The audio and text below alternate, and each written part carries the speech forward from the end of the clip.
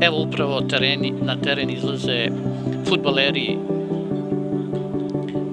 Vojvodine i Borca, predvođeni sudijskom trojkom. Vojvodina će igrati u svojim tradicionalnim crveno-belim dresovima, a Borac u teget opremi. Još nekoliko dana neće biti u pogonu. Utakmica je upravo počela.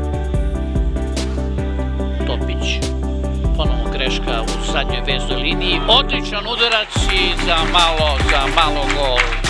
Fenomenalan udarac.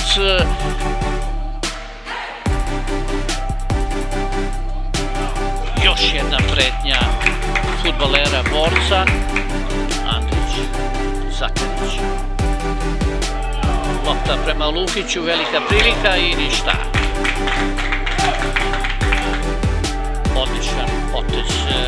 E, Mihajla Neškovića.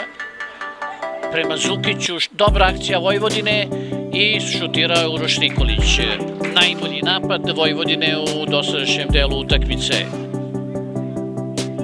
Zakarić. I još jednom u dobroj poziciji futboleri borca, ali ipak je to bio offside. Zakarić, šansa. Zakarić, tu je bio i Lukić i ništa. Simić. Iz daljine Busnić i prva intervencija Lakića.